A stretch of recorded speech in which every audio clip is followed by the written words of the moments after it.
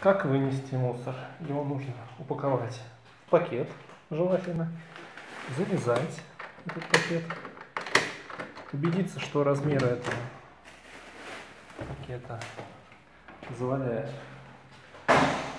поместиться ему